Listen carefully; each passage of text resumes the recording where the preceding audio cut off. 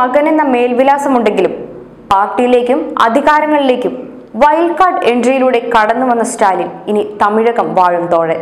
പതിനാലാം വയസ്സിൽ രാഷ്ട്രീയ പ്രവർത്തനം തുടങ്ങിയ സ്റ്റാലിൻ അഞ്ചു പതിറ്റാണ്ടിനിപ്പുറം മുഖ്യമന്ത്രി പദമേറാൻ ഒരുങ്ങുമ്പോൾ അത് വൈകിയെത്തിയ അംഗീകാരമാണ്. സ്റ്റാലിനെ കരകളഞ്ഞ രാഷ്ട്രീയക്കാരനാക്കിയത് അടിയന്തരാവസ്ഥയാണ്. മിസ നിയമപ്രകാരം ഒരു വർഷത്തോളം ജയിൽ ശിക്ഷ അനുഭവിക്കുകയും ക്രൂര മർദ്ദനത്തിനിരയാവുകയും ചെയ്തു.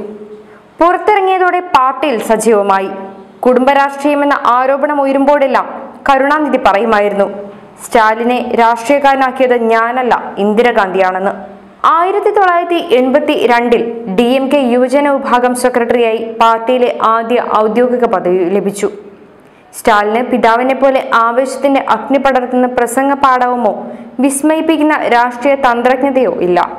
കഠിനാധ്വാനത്തിലൂടെയാണ് കുറവുകളെല്ലാം മറികടന്നത്. പലതവണ സംസ്ഥാന പര്യടനം നടത്തിയാണ് അണികളുമായി ഹൃദയബന്ധം സ്ഥാപിച്ചത്.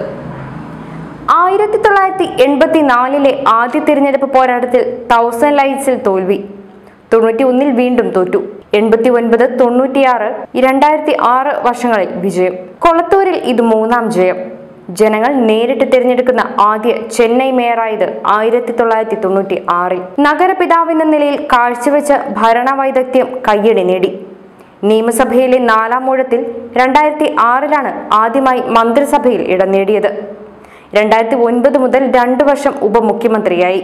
കരുണാനിധിയുടെ പിൻഗാമി എന്ന് കരുതപ്പെട്ടിരുന്ന വൈകോ കലാപമുയർത്തി പാർട്ടിയിൽ നിന്ന് പുറത്തുപോയത് സ്റ്റാലിന് നൽകുന്ന അമിത പരിഗണനയിൽ പ്രതിഷേധിച്ചായിരുന്നു.